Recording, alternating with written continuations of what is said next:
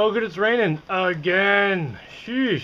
Well, the rain's taking care of itself, I figure out this solar panel mold situation. Right, first thing I need to do is figure out what I'm going to do about these here connectors.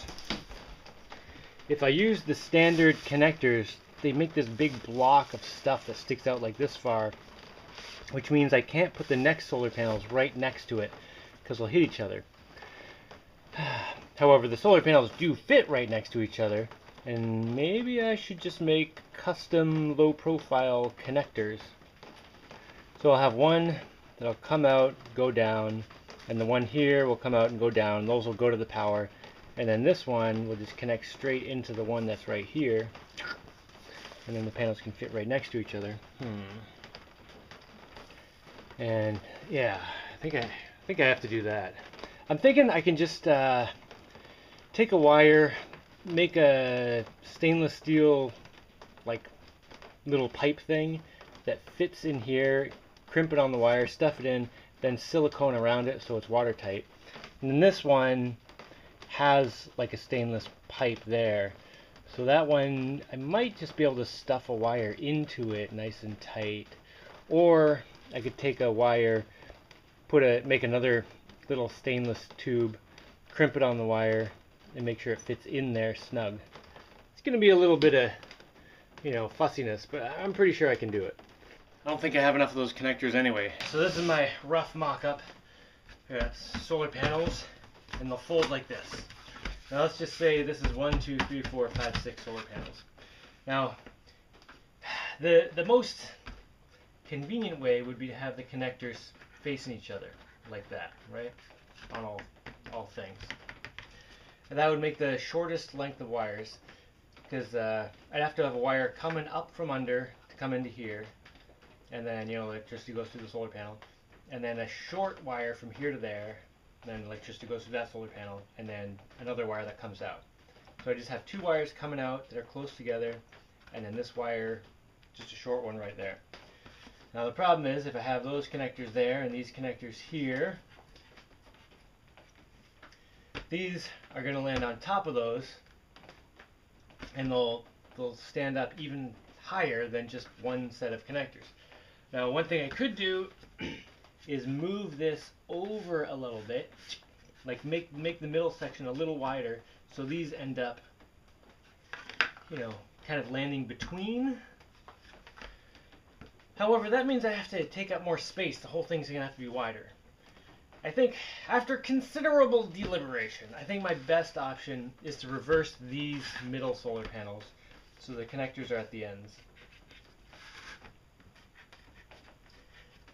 Because the that solves all the problems. The only downside is I'll have to have longer wires. So I'll have a wire coming in from under to here, and then a wire from here that goes under up to there, and then another wire coming out of there.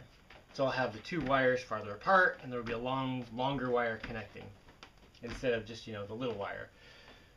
So I'll only have to do that with one middle row because then the other two rows can land on that one in the right space. And since this one is going down, this one lands on the back, the fact that these are lined up together doesn't matter. So yeah, I'll have to have a couple extra longer wires in the middle.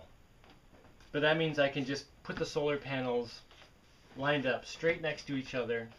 And without, if, if I'm not using the, you know, the giant connectors, I can just put these right next to each other and I don't have to offset them or put them apart or anything. So yeah, I need to make custom connectors and have these middle solar panels facing away from each other. Man, building things always seems so simple until you start doing it and then there's all these details. Another detail, so many details, I think I'm going to make this in two sections.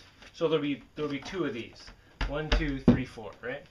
Instead of making it just one giant long thing, I'm going to make one piece like this with six solar panels and another piece in front.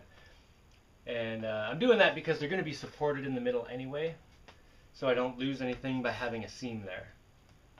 And it'll be easier to get get them onto the boat. And if for some reason I need to move them or something, it, it'll be easier think. I think I'm doing that. Okay, so what are the dimensions of one of these things? Of course, I could look on the paper and see what it says the dimensions are, but I like to just measure directly from the source. Alright, 138 centimeters. It's like four and a half feet ish. 138 centimeters by 99. Alright, 138 by 99. Okay, 99 centimeters by 138. I think I'll just make this a full meter. So it'll give me a little bit of extra space on the sides, half a centimeter on each side. Alright, so let's make that 100 centimeters. And then I do want a bit of extra length. Uh, how much do I want to add? Well, I could just go up to 140. Let's see, two centimeters on each end. Yeah, I think that sounds good. All right, so we're gonna make that 140. All right, this number is the panel.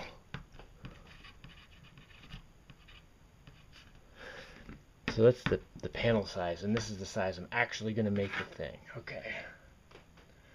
So 280 centimeters end to end by one meter wide. Plywood comes in imperial noodle units, which is eight feet right there, and 280 centimeters right here. And it's a little over nine feet. Nine feet, like two and a bit inches. All right. So I guess I should take a piece of plywood and add a foot and a half and then I can get the whole piece in one shot. I think I'm going to steal this floor piece and just confirm that it is a full sheet. Oh, it's short by like, I must have trimmed this. Like an inch short. Let's check this one. Alright, that's a full sheet. Maybe we'll steal this floor piece. And then one meter across, yeah, no problem. Hmm. Hope it's flat. It's pretty flat. Of course, if I'm adding a chunk anyway, it doesn't matter if that piece is an inch short. I just have to make sure to add the extra inch in. Well, I haven't been down here in quite some time.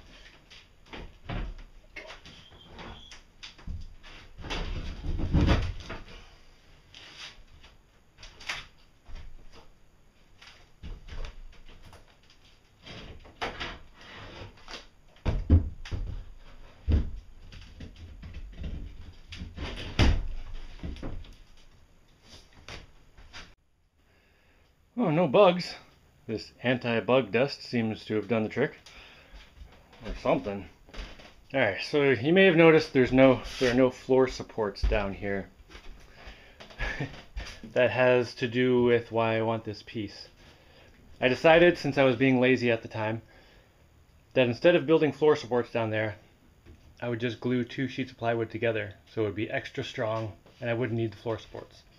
Now that should also make sure the sheet is real flat, which is exactly what I want. Alright, that piece looks good.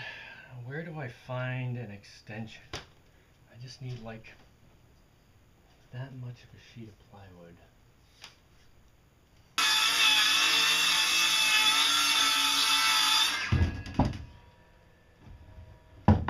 Should do it.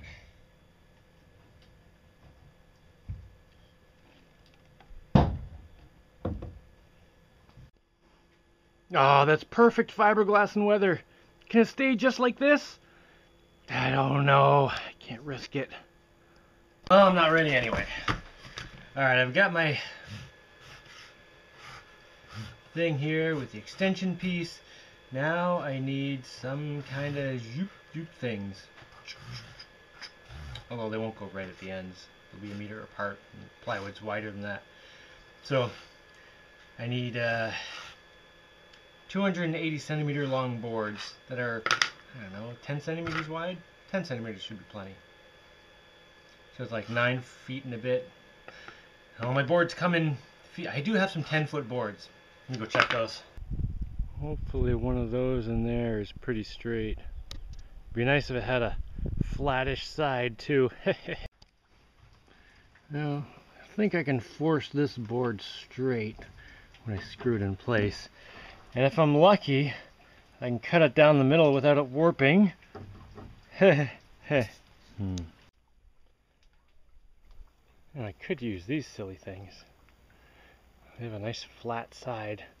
Of course, the other option is to just cut the sides off the plywood because a meter wide is there and the plywood is there so I'd have ah, that would be enough and then these these wouldn't go the whole length I just have to cut an extra chunk off this piece I guess to put there ah, I'd probably be fine as long as I'm careful with it of course, if I do that, I'm definitely not putting the floor back after. Hmm. Do I care about that? Alright, what do I care about more? Super flying up my new nice new boat? Or keeping the floor panel over there in the part of the boat that I never use anyway and I could replace in the future if I ever felt like it by buying a new sheet of plywood? Yeah, I think I should just do it. Yeah. Oh, great, it's raining again. Well, how much of a mess am I gonna make by cutting that thing in here? Well, I've got a broom and a dustpan. I think it's an acceptable level of mess. Yeah, let's do it.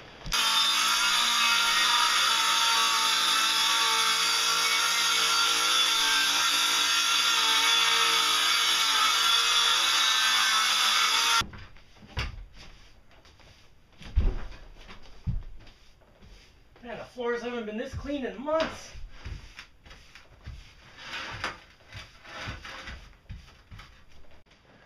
Well, that's looking pretty good.